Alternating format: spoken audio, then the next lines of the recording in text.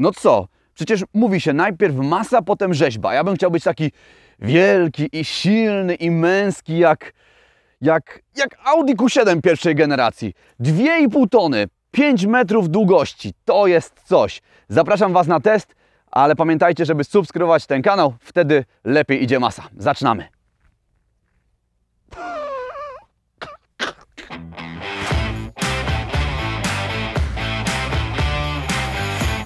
Audi Q7 jest dość obłym. Nie próbuję ukrywać, że jest gigantycznym autem. Na polskich ulicach nawet teraz robi wrażenie, a nawet sieje postrach. Tak to jest, jak jeden model ma być sprzedawany i w USA, i w Europie. Może być dzięki temu zarazem duży i mały, w zależności od tego, jaki klient na niego właśnie spogląda. Z przodu mamy ogromny grill. Widzicie te pionowe chromy? Jeśli zobaczycie poziome, to znaczy, że patrzycie na model przed liftingiem. Lampy są wąskie. Tutaj mamy pasek LEDów, bardzo charakterystyczny. Pod spodem jeszcze jeden. To też jest opcja poliftingowa. Z boku dobrze widać, jak ogromny i wysoki jest przód tego auta. Felgi bardzo ładne, 20-calowe w naszym egzemplarzu. Lusterka również są ogromne, praktycznie wielkości mojej głowy. O, zobaczcie. Linia jest prosta, bez udziwnień. Podoba mi się to, że jest tutaj elegancko i stonowanie. Jak nasuwa przystało, na dole mamy oczywiście osłony z tworzywa. Tył tego auta jest taki jajkowaty. Nie jest to do końca trendy, bo teraz jest moda na po prostu mocne cięcia. Jest ona ogromna i wiem, że powtarzam to słowo często, ale jakiego innego tutaj używać? Faktycznie jest wielgachna. Zobaczcie, zachodzi aż tutaj na boki, podobnie zresztą jak lampy o całkiem ciekawym kształcie. U góry spoiler niezbędny. Dlaczego? Bo Tuareg 1 tego nie miał i wyglądał po prostu głupio. Audi Q7 pierwszej generacji było produkowane od 2005 roku z liftingiem w okolicach 2010 aż do 2015. A teraz czas na środek. No i oto mamy wnętrze auta, które potrafiło kosztować nawet pół miliona i do tego umieszczone w bryle o długości 5 metrów i szerokości prawie dwóch. No ja się nie dziwię, że niektórzy ludzie uważają, że to jest jakby finalny etap ewolucji aut. Można się poczuć tutaj naprawdę bardzo dobrze, ale po kolei materiały Zarówno plastiki bardzo dobrej jakości, miękkie, nic tutaj nie skrzypi. Do tego skóra, alcantara, ładne chromy, no wszystko jest tak jak powinno być. Chociaż ekran multimediów umieszczony tutaj u góry pod takim daszkiem wydaje się być dosyć mały jak na tak duże auto. Jego grafika, obsługa działa praktycznie jak w każdym Audi, więc jeżeli przesiadacie się tutaj z auta tej samej marki, to będzie bardzo łatwo. Jeżeli z innego, to może być podchwytliwie. Ekran multimediów obsługujemy z MMI, czyli joysticka oraz serii przycisków, które umieszczone są tutaj, wygodnie pod ręką, ale żeby go sprawnie obsługiwać, trzeba praktycznie nauczyć się rozkładu tych przycisków na pamięć. Inaczej będziemy zmuszeni, żeby odwracać wzrok od drogi. Mamy tutaj także osobne pokrętło do głośności. Warto jeszcze wspomnieć, że MMI z generacji na generację jest poprawiane i coraz łatwiej i przyjemniej się go używa. Obok ekranu mamy także kilka przycisków. Po prawej stronie na przykład mamy przycisk do szybkiego gaszenia ekranu. To się przyda podczas jazdy w nocy. Poniżej przycisk, o którym warto pamiętać, tutaj wyłączamy działanie systemu start-stop, nielubianego przez wielu, oraz jeszcze jeden do otwierania schowka pasażera. Skoro mamy otwarty, to już do niego zajrzymy. Nie jest on przesadnie duży, jest klimatyzowany, podświetlany oraz wykończony materiałem.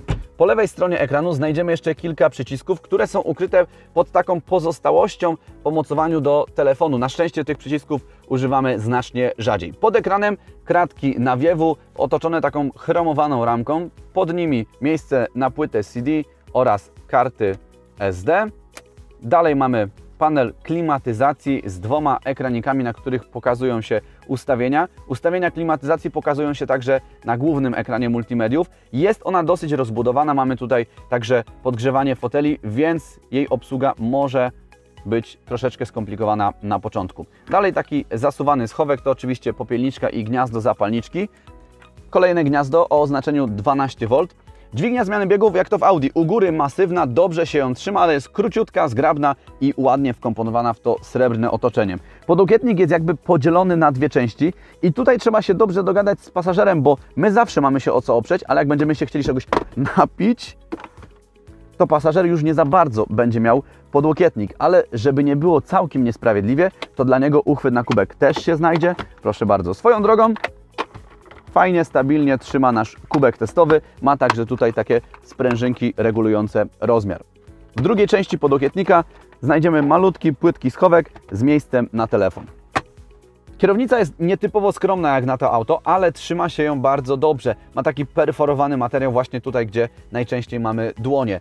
Nie jest przeładowana przyciskami, możemy tutaj obsłużyć radio, głośność. e, Komputer pokładowy obsługujemy z przycisków na manetce wycieraczek. Za kierownicą znajdziemy jeszcze kilka ciekawych rzeczy. Po pierwsze manetki do zmiany biegów.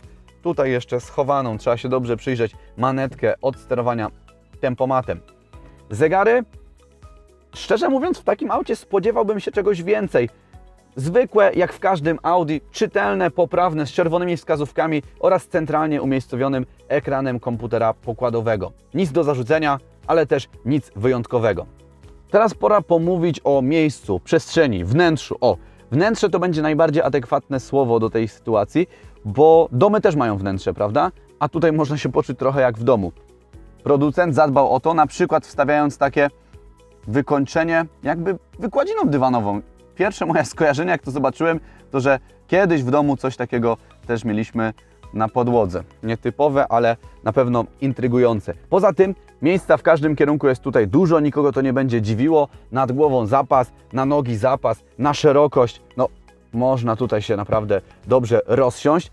Fotele zresztą też nie wkidmuchał, bo mają fajne trzymanie boczne, mają regulację długości siedziska oraz elektryczną regulację w pozostałych kierunkach, łącznie z odcinkiem lędźwiowym. Wszystko jest tutaj super. Na drzwiach standardowy panel sterowania lusterkami oraz szybami oraz bardzo duży schowek z miejscem na butelkę. Jeszcze jeden przycisk do otwierania klapy bagażnika. Teraz pora zajrzeć do tyłu. Z tyłu jest niezwykle wygodnie. Mamy tutaj w zasadzie takie dwa pełnoprawne fotele oraz mały fotelik między nimi. Oparcie możemy regulować. O, i rozsiąść się jeszcze lepiej. Ta środkowa część raczej częściej pracuje jako podłokietnik, chociaż jest on położony dosyć wysoko, trochę niewygodnie.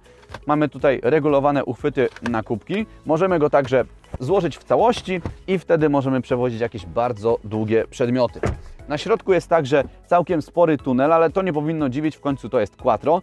W tej centralnej części znajdziemy także rozbudowany panel klimatyzacji, kolejne dwa gniazda 12V oraz kratki nawiewu. Kratki nawiewu zobaczymy także na słupku, a także na słupku z tyłu, pomimo tego, że mamy tutaj wersję pięciomiejscową i tak te nawiewy tam przygotowane są. Spójrzcie teraz na okno. Mamy tutaj zasłonkę, ale nie jest to taka normalna roletka, tylko taka trochę tandetna zasłonka. Jest ona oryginalna, więc pewnie była dokupiona jako akcesorium, ale wydaje mi się, że w tak drogim aucie mogła być po prostu w standardzie prawdziwa roletka. Szyba niestety, ale nie opuszcza się do końca, ale za to jest przyciemniana. Drzwi są ładnie wykończone, podobnie jak z przodu. Mamy Alcantarę, mamy także głośniki Bose. Zobaczmy teraz jak w bagażniku. Klapa bagażnika jest otwierana elektrycznie, a bagażnik ma pojemność 770 lub 330 litrów, w zależności od tego, czy mówimy o wersji 5 czy 7-osobowej. Chyba musieli być dosyć kreatywni przy liczeniu tej pojemności, bo wcale nie wydaje się ona taka duża. Przede wszystkim roletka jest bardzo nisko położona. Za to próg bagażnika jest niezwykle wysoko. Jakbym miał coś ciężkiego tutaj dźwigać, to myślę, że nie byłoby przyjemnie. Na szczęście mamy możliwość opuszczenia i to o kilka dobrych centymetrów. Zobaczcie.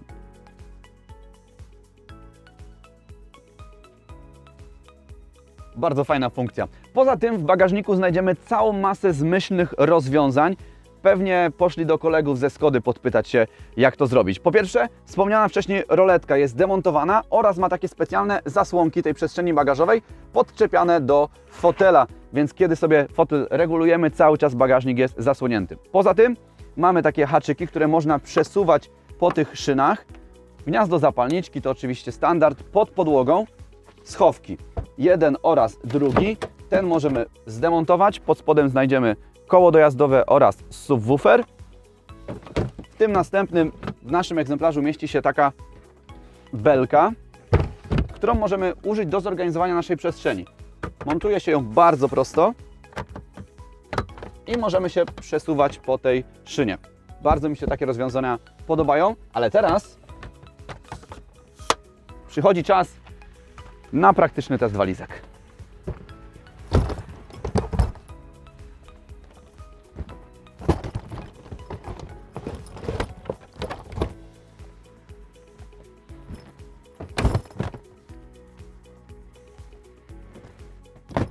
No i może jeszcze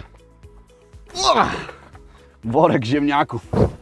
Dlaczego worek ziemniaków? Bo po pierwsze mam bardzo dużo znajomych, którzy zajmują się rolnictwem i uwielbiają to auto. Pewnie dlatego, że jest jednocześnie wygodne i luksusowe, ale też można nim spokojnie pojechać w pole. A po drugie, wydaje mi się, że można by Q7 użyć także do orania pola.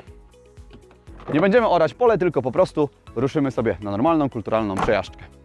Jazda tym kolosem ewidentnie należy do przyjemności, chociaż oczywiście wszystko zależy od naszych potrzeb i oczekiwań. Do komfortowej jazdy jest super. Jak chcemy szybciej pokonywać zakręty i spróbować bardziej dynamicznej jazdy, też się nie zawiedziemy. O dziwo, auto dobrze się trzyma drogi, a seryjny napęd quattro zapewnia bezpieczeństwo i pozwala wykorzystać w pełni moc silnika. Choć nie da się ukryć, że momentami można poczuć się jak w czołgu. Czuć wychylenia i jego niezgrabność, ale przy tym podąża przed siebie bez zająknięcia. Dziś testujemy egzemplarz z rocznika 2010, a pod maską 3.0 TDI o mocy 240 koni mechanicznych, czyli taki średniak w gamie silnikowej, a i tak do 100 km na godzinę przyspieszy w 8,5 sekundy. Teraz jeszcze sprawdzę jego elastyczność, czyli czas potrzebny na przyspieszenie od 60 do 90 km na godzinę. Gaz do dechy.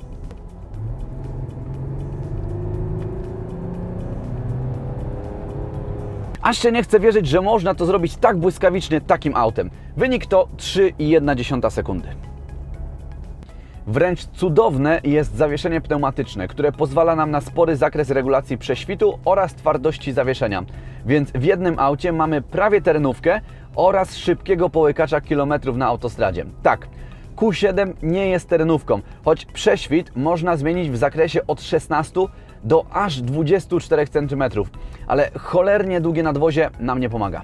Widoczność jest tutaj całkiem niezła. Mamy wysoką pozycję za kierownicą, spore lusterka, a także przeszklenie przy słupku C, ale i tak manewrowanie, a właściwie poszukiwanie miejsca odpowiedniego dla tego samochodu w mieście, no nie należy do przyjemności, pomimo tego, że mamy tutaj fajne czujniki parkowania i kamerę cofania. Martwe pole? No oczywiście, że występuje, ale pewnie jak przejedziesz po jakimś samochodzie po dachu, to i tak tego nie poczujesz. A teraz już bardziej na poważnie. W samochodach wyższych klas jednym z ważniejszych parametrów jest komfort, a na niego wpływa m.in. wygłuszenie wnętrza. Jak sobie poradzi z tym Audi Q7? Przecież to istny wiatrołap na wielkich, szumiących kołach. Test na autostradzie przy prędkości 140 km na godzinę dał nam 64,8 dB. Teraz jeszcze sprawdzimy przy prędkości 90 km na godzinę.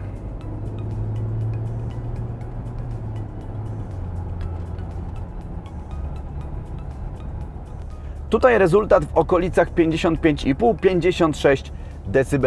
Sprawdźmy jeszcze, czy spalanie jest adekwatne do rozmiaru i klasy tego auta. Spójrzcie na tabelę z wynikami naszego testu przeprowadzonego na autostradzie, na trasie oraz mieście.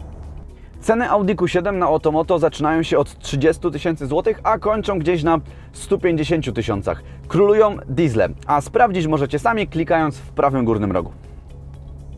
Silniki w Q7 to diesle oraz jednostki benzynowe wyłącznie z bezpośrednim wtryskiem. Zacznijmy od diesli, których jest najwięcej na rynku wtórnym.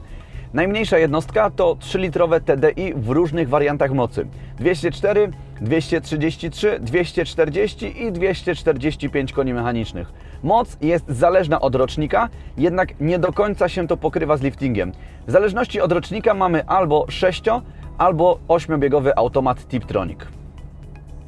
Podstawowe problemy w 3.0 TDI to łańcuchy rozrządu, przecieki oleju oraz klapy w kolektorze dolotowym. Jak pierwsze dwa są bardzo drogie w naprawie, tak trzeci problem można rozwiązać za rozsądne pieniądze.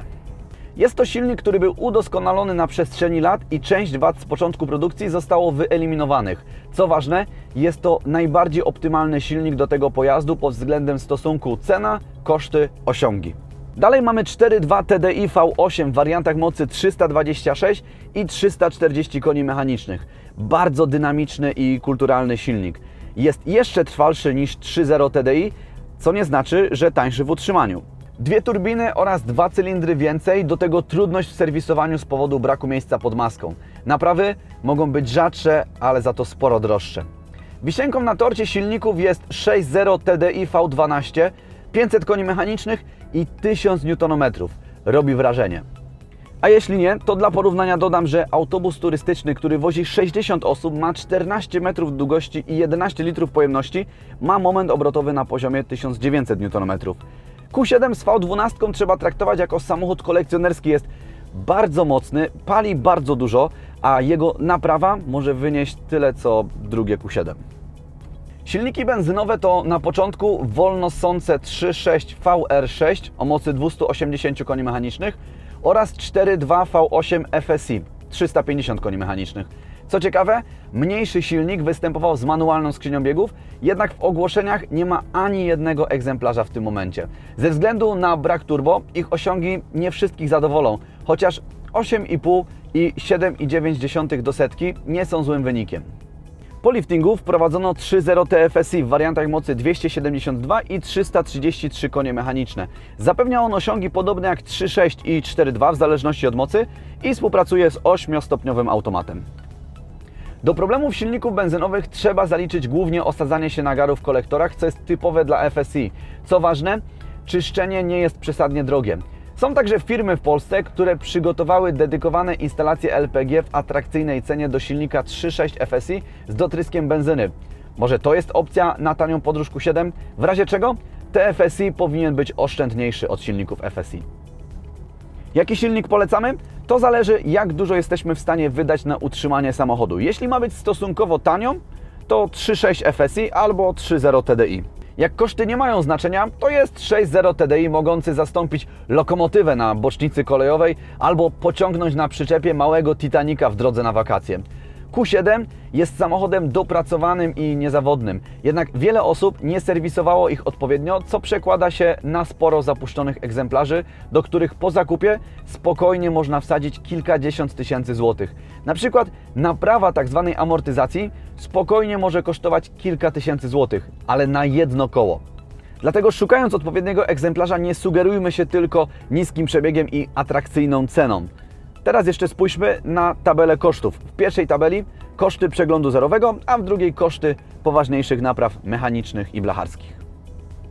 W ramach małego podsumowania plusy i minusy. Na początek trzy rzeczy, które spodobały nam się w tym modelu. Po pierwsze, bardzo przestronne wnętrze i wysoka jakość zastosowanych materiałów. Po drugie, dynamiczne silniki. Praktycznie żadne Q7 nie jest zawali drogą.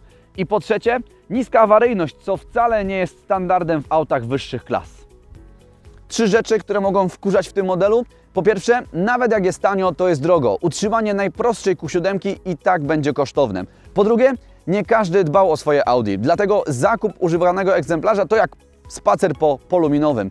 I po trzecie, no zdecydowanie nie jest to kompaktowy SUV. W mieście będzie nieprzyjemnie. Dziękuję Wam za oglądanie. Pamiętajcie, aby zasubskrybować ten kanał, zostawić łapkę w górę i napisać komentarz, jak Wam się podoba Audi Q7 pierwszej generacji. Do zobaczenia w następnym odcinku. Trzymajcie się ciepło. Cześć!